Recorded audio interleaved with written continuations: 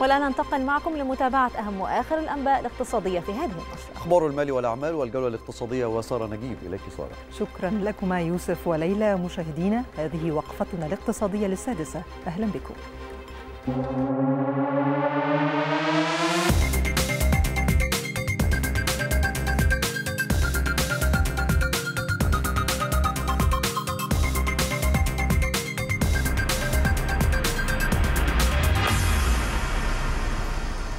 أعلن البنك المركزي ارتفاع الاحتياطي النقدي من العملات الأجنبية خلال شهر نوفمبر الماضي بنحو 72 مليون دولار ليبلغ مستوى 35 مليارا و173 مليون دولار مقابل 35 مليارا و101 مليون دولار في أكتوبر الماضي.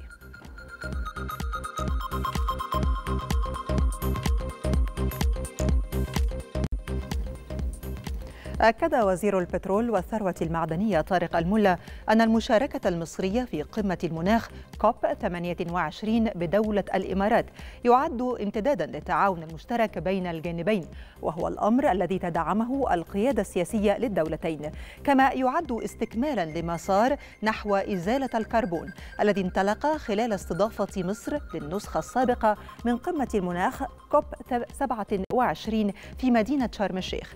جاء ذلك خلال سلسلة لقاءات عقدها وزير البترول والثروة المعدنية مع كل من رئيس مؤتمر الأطراف المعني بتغيرات المناخ كوب 28 سلطان جابر ووزير الطاقة الإماراتي والمبعوث الرئاسي الأمريكي لشؤون المناخ ورئيس الوكالة الدولية للطاقة والوزير الاتحادية للطاقة لمملكة بلجيكا. حيث تم بحث جهود خفض الانبعاثات وتحسين كفاءة استهلاك الطاقة وتسريع جهود إزالة الكربون. carbon.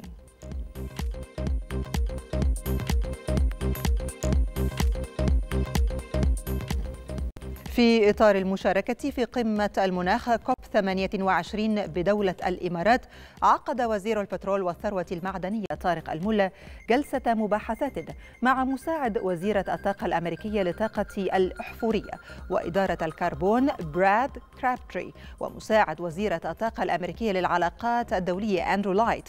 جاء حيث أكد الجانبان عمق العلاقات والتعاون الوثيق بين مصر والولايات المتحدة الأمريكية خاصة في مجال الطاقة. كما عقد وزير البترول جلسة مباحثات مع وزير البيئة والعمل المناخي بأستراليا الغربية أكبر ولايات أستراليا ريس ويتبي. حيث تناول لقاء تعزيز التعاون المشترك في مجال التعدين في ضوء ما تتمتع به الشركات الأسترالية من خبرات وتجارب متميزة في هذا المجال. وما تقوم به مصر من خطوات فاعلة لإصلاح وزيادة استثمارات قطاع التعدين.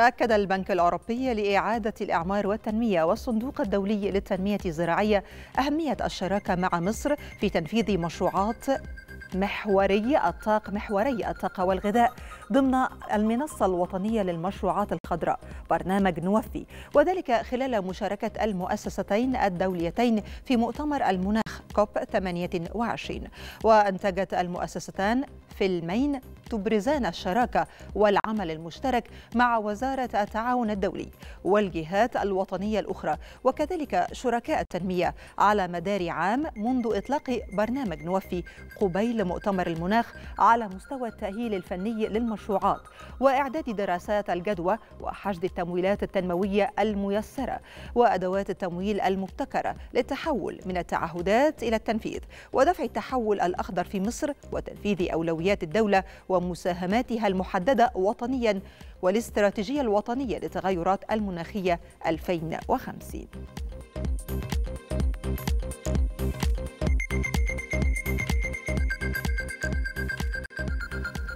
في أسواق البترول العالمية. انخفضت أسعار النفط بسبب تراجع الطلب والتباطؤ الاقتصادي في الولايات المتحدة الأمريكية والصين. هذا وانخفضت العقود الآجلة لخام برنت بما يعادل نحو 1.1% لتصل إلى 75 دولارا وسنتين للبرميل. كما تراجع خام غرب تكساس الوسيط الأمريكي 1.8 من 100% ليصل إلى 75 دولارا وسنتا واحدا. وارتفعت كذلك أسعار المازوت عالميا بنسبة 98 من 100% لتصل إلى دولارين وستة سنتات للتر. في المقابل تراجعت أسعار الغاز الطبيعي بنسبة 51 من 100% لتسجل دولارين و55 سنتا لكل مليون وحدة حرارية بريطانية. انخفض صافي الاحتياطيات الدولية للبنك المركزي التركي أكثر من مليار دولار لتسجل 34 مليارا و780 مليون دولار في الأسبوع الماضي بعد أن بلغ أعلى مستوى له منذ مارس من عام 2020 في الأسبوع السابق ومنذ أوائل يونيو بعد الانتخابات الرئاسية مباشرة بدأت الاحتياطيات في التعافي بعد أن انخفضت حينها إلى قيمة سالبة قدرها 5 مليارات و700 مليون دولار وهو أدنى مستوى منذ بدء نشر البيانات في عام 2002 وبلغ سعر الصرف للعملة المحلية 28.8 ليرة للدولار.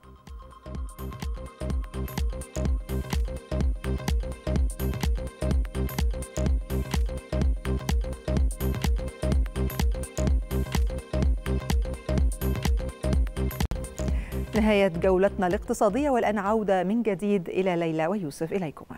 شكرا لك سارة.